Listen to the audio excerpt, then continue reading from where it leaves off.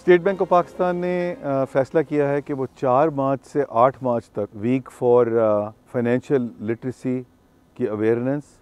और financial inclusion को promote करने के लिए मनाएगा। किसी भी मुल्क की तरक्की में financial inclusion played a major role ये एक सेंटर ऑफ़ द प्लेट होता है for the development objective and इसके सिलसिले में जो स्टेट बैंक ने अभी ये इनिशिएटिव लिया है to celebrate the financial inclusion and awareness week का uh, इस सिलसिले में बैंक ऑफ़ पंजाब ने भी फैसला किया कि पूरी तरह पार्टिसिपेट करें। और इस सिलसिले में हम अपने वॉक इन कस्टमर्स को बेनिफिट्स बताएँगे ऑफ़ डिजिटल ट्रांजैक्शंस हम मीडिया पे कैंपेन चलाएँगे कि how financial inclusion will help in terms of saving the cost for our customers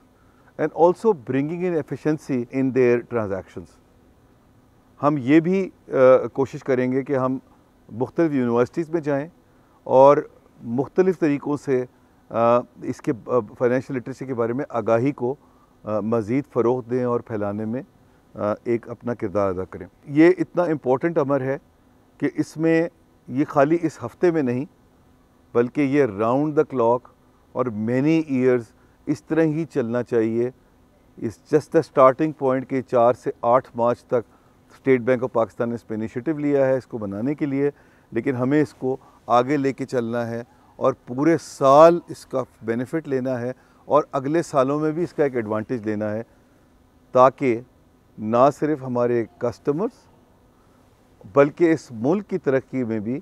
एक मेजर रोल फाइनेंशियल इंक्लूजन और फाइनेंशियल अवेयरनेस क्रिएट कर सके। इसके सोशल इम्पैक्ट भी है,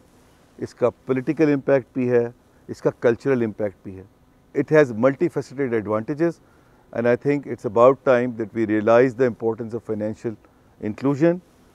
create more literacy uh, around it, go for the awareness as much as possible and BOP will continue to play its due role in this respect. Thank you very much.